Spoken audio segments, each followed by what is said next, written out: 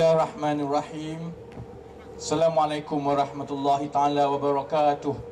Selamat malam, Tachehau. Manakam yang saya hormati saudara pusi majlis, seluruh barisan pimpinan, saudara-saudari pakcik-makcik yang hadir pada malam ini. Kita ramai lagi penceramah ni. Ada tiga empat, jadi saya kena laju sikit malam ini. Pertamanya saya ucapkan terima kasih kepada semua yang hadir. Ramai sangat. Saya pun tak sangka sebab sokongan dan kehadiran kawan-kawan rakyat macam saudara-saudari lah. Kita yakin macam yang Wadi Firdaus sebut kali ini kalau mereka berani panggil pilihan raya kita akan dapat kerajaan baru di Putrajaya. Tiga hari lepas, tiga hari lepas saya di Terengganu.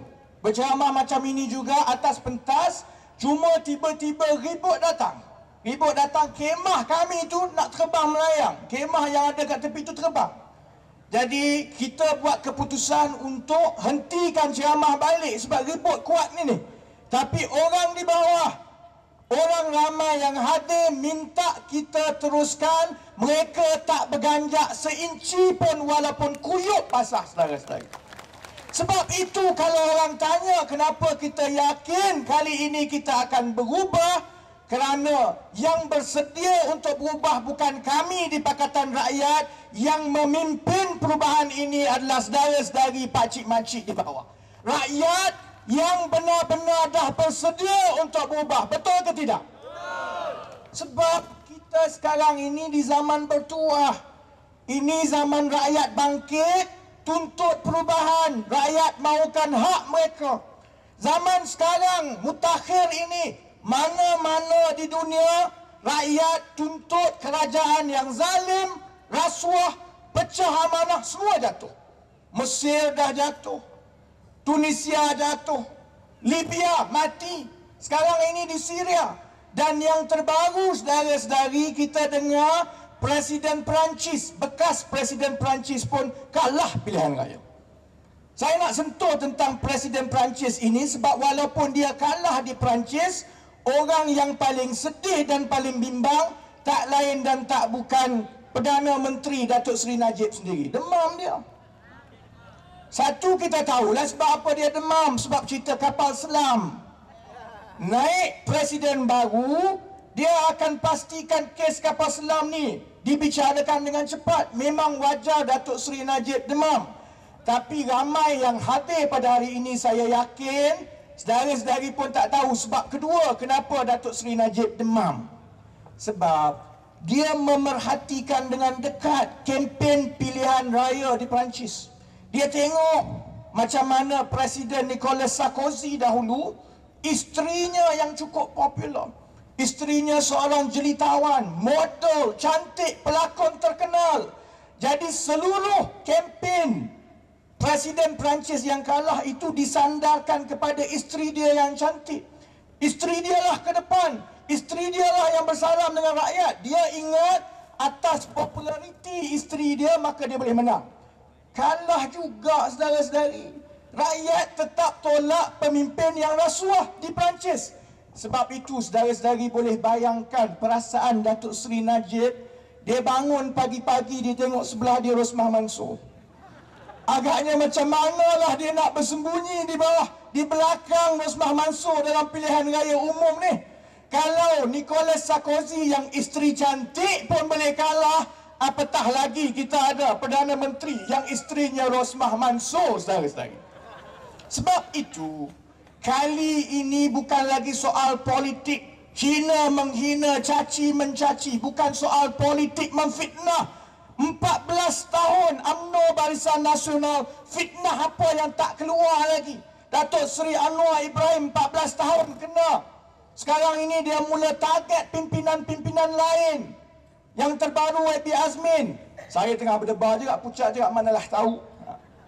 Tapi saudara-saudari jangan bimbang. Sebab kita tengok yang rakyat mahukan sekarang adalah politik idea. Rakyat nak tahu dalam pilihan raya umum kali ini kalau kami pilih Pakatan Rakyat contohnya macam mana Pakatan Rakyat akan membela rakyat saya umumkan saya tak pakai cermin mata ni tapi nampak macam izah je kot Baik. Sebab itu sekarang puas dah kita sebut kepada UMNO Barisan Nasional.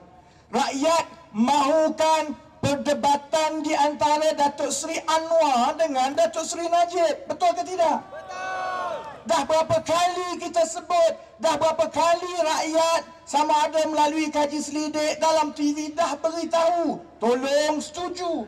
Sebab itu malam ini saya nak ajak semua yang hadir malam ini sama-sama kita merayu dan mendesak Datin Seri Rosmah Mansur tolonglah bagi izin kepada suami kamu untuk pergi berdebat dengan Datuk Seri Anwar. Saya dah berdebat dengan saudara Khairi.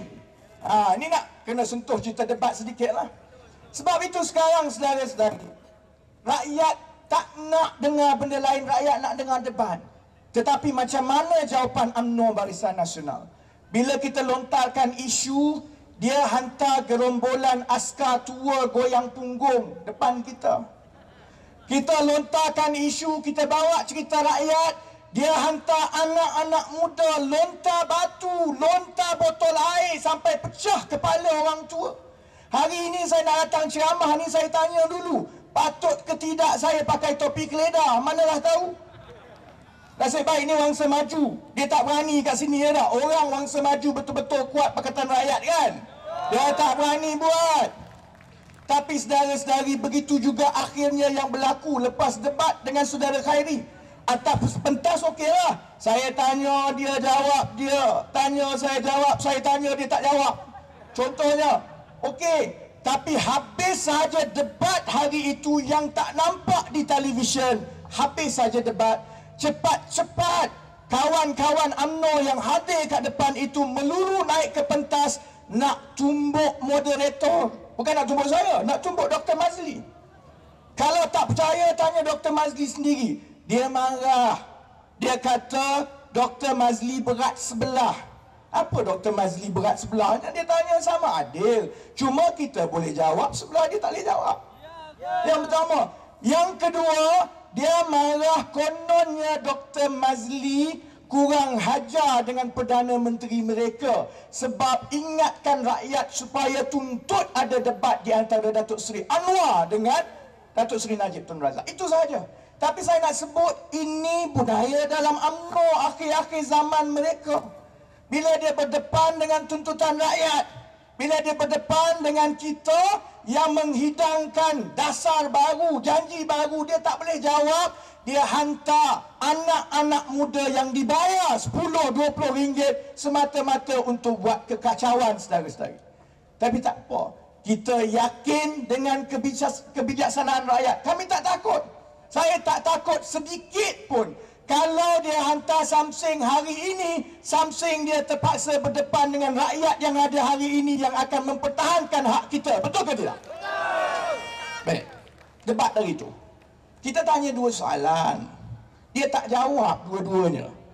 Saya tunggu tiga hari, kot-kot lah KJ nak telefon kata hari tu aku tak sempat, tak ada masa. Ni nak bagi jawapan. Pun dia tak telefon. Jadi sebab dia tak bagi jawapan malam ini saya nak tolong jawab untuk saudara Khairi. Pertama kita tanya soalan yang cukup mudah saudara-saudari iaitu dengan adanya model PTPTN sekarang ini. Model PTPTN berlandaskan pendidikan yang diperniagakan. Kerajaan bagi lesen seluas-luasnya kepada sesiapa nak buka kolej swasta. Kemudian kolej swasta ini pula ambil duit daripada PT, PT, PTN kemudian dia bagi satu suasana pendidikan yang kadang-kadang tak baik untuk anak-anak kita. Dia kata saya hina. Saya tak hina.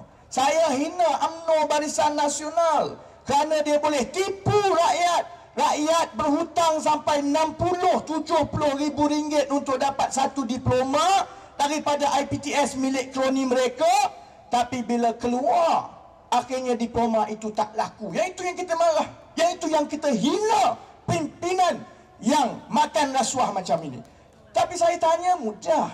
Kalau kita terus dengan model macam ini Pendidikan yang diswastakan dan diniagakan Apa kesannya kepada negara? Kita dah bagi kira-kira. Sebab itu awal-awal masa kita lontarkan soal pendidikan percuma, dia cepat-cepat melenting dia kata ini nak menang undi orang muda. Tak ada kena mengena saudara-saudari.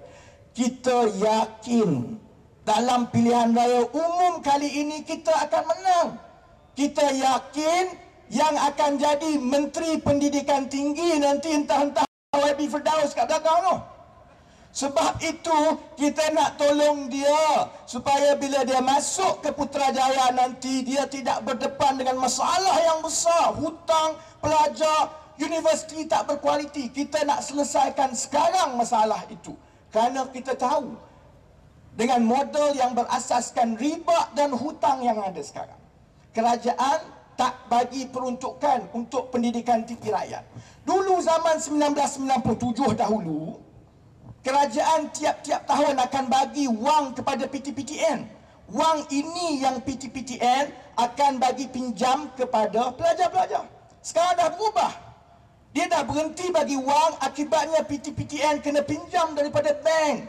Sebab itu kadar bunganya tinggi. Bila dia pinjam kadar bunga tinggi, maka dia charge kepada rakyat juga tinggi. Sebab itu saya ulang dalam debat hari itu, malang rakyat kita apabila bilis disenara hitamkan dan ditekan tetapi jerung yang kenyang macam menteri-menteri terlepas begitu saja. Kerana wang daripada rakyat ini dia nak ambil untuk bayar bunga yang tinggi kepada bank-bank. Tapi kesan dia saudara-saudari. 15 tahun kita tak dapat kutip hutang ni. Kita tak dapat kutip hutang kerana mereka yang keluar universiti gaji tak naik sara hidup pun teruk, mereka terpaksa bergelumang dengan kesusahan hidup. Macam mana dia nak bayar?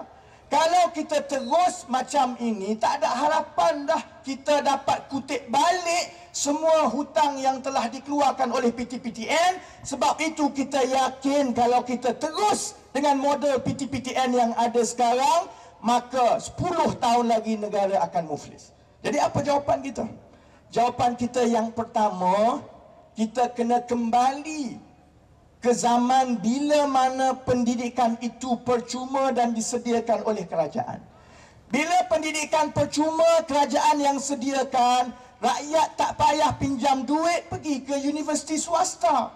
Universiti swasta yang ada sekarang ini mahal sebab dia ambil untung yang tinggi. Bila sebahagian besar rakyat kita pergi ke universiti percuma, maka dia tak payah berhutang. Tetapi kos yang kerajaan tanggung adalah lebih murah. Kerana menanggung seorang pelajar di universiti awam, kosnya itu satu per lima lebih murah daripada kos menanggung seorang pelajar yang pergi ke universiti swasta. Tengok pinjaman PTPTN sekarang. Yang pergi ke IPTA dapat lima ribu setahun kos sara hidup. Kalau dia pergi ke swasta, pinjaman itu jadi 20-25 ribu setahun. Sebab itu kita dah kira kalau kita hapuskan PTPTN maka wang yang sekarang ini dimasukkan ke PTPTN untuk setiap seorang yang kita tanggung di IPTS sebenarnya adik kita boleh tanggung lima orang lagi di IPTA. Jadi siapa yang pandai? Kita ke Khairi? Eh, ada ke cakap Khairi lagi pandai? Salah orang. Eh? Jadi yang itu terjawab, saudara-saudari. Yang kedua, soalan yang kedua. Kita tanya soalan cukup mudah. Saya tanya, Pak mentua kamu, dia banyak tidur jadi kamulah penasihatnya dulu. Masa Pak mentua kamu jadi Perdana Menteri dulu, dia dah ambil 237 ribu juta. 237 bilion saudara-saudari cukup banyak daripada Petronas. Saya ambil cerita Petronas ini sebab orang UMNO gairah sangat. Kalau kita cerita nak bagi pendidikan percuma, kita cerita nak bela rakyat, dia cepat-cepat melenting dia kata kalau bagi Pakatan Rakyat, maka Petronas akan bankrupt. Ha, sebab itu saya malam itu saya tanya pasal Petronas. Sebab selama ini yang merompak, yang mencuri, yang mengambil duit Petronas bukan kita. Yang mencurinya dia. Sebab itu saya tanya 237 bilion apa pak mentua kamu dah buat? Kita tengok dia tak buat apa pun dia tidur je. Macam mana boleh hilang 237 bilion? Dia tak jawab dia tak ada jawapan untuk itu. Kalau tanya saya saya pun tak ada jawapan. Sebab tu saya tanya. Cuma pada masa itulah saudara-saudari kalau kita ingat pada masa itulah juga kemewahan pimpinan-pimpinan UMNO ini berganda-ganda. Pada ketika itu jugalah kita tengok projek dan kontrak yang sekarang ini meningkatkan kemarahan rakyat pada tahun ketika itu jugalah mereka bagi. Contohnya kawan baik saja Datuk Seri Syarizat Jalil masa itu jugalah dia dapat kontrak 250 juta pelihara lembu tu. Masa itu jugalah dia ambil duit itu pergi letak dekat kondominium. Dan soal cerita NFC ni saya ada berita baik untuk kawan-kawan di Wangsa Maju di Taman Melati kita akan kita tengah nak buat filem pasal kondo dan juga lembu. Kita sedang usahakan satu filem bertajuk Lembu the Movie. Ha. Ini bukan cerita klip-klip ambil YouTube ini. Ini memang akan ada seorang pelakon jadi Datuk Seri Syahrizat. Seorang pelakon akan jadi suami dia, ada jadi anak dia. Jadi saya nak tawarkan di mana-mana saya pergi berceramah. Kita sedang cari pelakon-pelakon yang sanggup. Sekarang saya nak buka peluang ini. Ada ke tidak daripada yang hadir malam ini Nak jadi Datuk Seri Syarizat Jalil? Ada tak? Dalam filem tu glamour nanti Satu Malaysia tengok ada ke tidak? Kami bayar jangan bimbang Jadi siapa yang nak jadi Datuk Seri Syarizat Jalil Lepas ini boleh jumpa saya di belakang. Kita buat screen test di belakang tu juga. Kalau boleh Singsing lengan selak kain InsyaAllah lepas Saudara-saudara Baik saya rasa saudara Syamsul dah sampai, saudara Nurizah pun dah sampai. Saya nak tutup dalam lima minit je lagi ya. Saya nak tanya ini. Kenapa sekarang ini kehendak rakyat untuk tukar dan buat perubahan membuat buah? Ini bukan soal parti, bukan soal UMNO, bukan soal PAS, bukan soal PKR. Soalnya kita mahukan sebuah kerajaan yang amanah. Soalnya kita nak pimpinan yang dipilih itu faham. Kamu berada di atas kerana mandat dan kuasa yang kita bagi. Bukan kita lantik kamu supaya kamu jadi raja saudara-saudari itu saja mudah. Sebab itu janji kami di Pakatan Rakyat juga mudah. Kami tak janji bagi lembu kami tak janji bagi projek kami tak janji bagi apa-apa tapi janji pimpinan Pakatan Rakyat kita akan tampilkan calon-calon yang amanah, yang jujur, yang akhlaknya baik, yang akalnya tinggi, takkan goyang punggung depan orang, yang akan berkhidmat untuk rakyat. Sebab itu, saya nak saudara-saudari pandang dan tenung Dr. Tan Ki Kong ini betul-betul. Berapa ramai antara yang hadir malam ini tahu siapa Dr. Tan Ki Kong? Dia anak kepada Datuk Tan Chee Kun dulu. Ada yang masih kenal Datuk Tan Chee Kun? Ini orang antara tokoh politik yang saya mula-mula kenal. Sama awal saya kenal Datuk Seri Anwar, saya kenal Datuk Tan Chee Kun dulu. Saya bukan saja kenal Datuk Tan Chee Kun, saya kenal Datuk kepada Dr. Tan Kee Kong sekali. Sebab saya baca riwayat hidup Dr. Tan Chee Kun. Datuk kepada Dr. Tan Ki Kong ini datangnya daripada Fujian. Kan, daripada China. Entah-entah dia pun tak tahu. Saya baca. Datang daripada satu wilayah di China. Datang dekat sini, jadi buruh. Dia bekerja di Pelabuhan Kelang. Tiap-tiap hari dia akan pikul ni. Beras, gula, daripada kapal turun dia pikul. Dia jadi peon yang tolong pikul. Buruh yang pikul galas. Bertahun-tahun dia buat Gaji dia 5 sen sehari je saudara-saudari. Betul, boleh semak buku. Akibat dia bekerja begitu tiap-tiap hari bertahun-tahun datuk kepada Dr. Tan Ki Kong ini bila dia meninggal dia bongkok. Sebab belakang dia berat sangat kerja pikul guni beras dan guni gula. Tapi dengan wang yang sedikit, dengan rezeki halal yang dicari itu tak ada projek, tak ada lembu, tak ada kondo, dia boleh beli tanah 10 ekar di Ceras. Dengan tanah 10 ekar itulah dia buka kebun getah. Dengan tanah itu jugalah dihantar Dr. Tan Chee Kun sampai jadi Dr. Tan Chee Kun. Dan dengan tanah dan titik keringat halal itulah dia lahirkan tokoh-tokoh macam Dr. Tan Kong.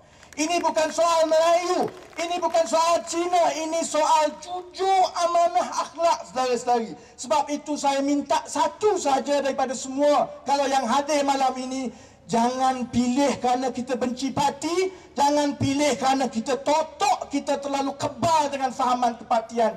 Pilih seorang calon yang jujur, yang tawaduk, yang amanah yang datang daripada keluarga yang macam Dr. Tan Ki Kong daripada 100 tahun yang lalu. Saya rasa cukup sekali itu. Terima kasih banyak-banyak. Semua yang baik itu datangnya daripada Allah Subhanahu Wa Taala. Semua yang buruk di Malaysia akhir-akhir ini datangnya daripada Najib dan Rusmah. Sekian. Wabillahi taufiq wa hidayah. Assalamualaikum warahmatullahi wabarakatuh. Takbir.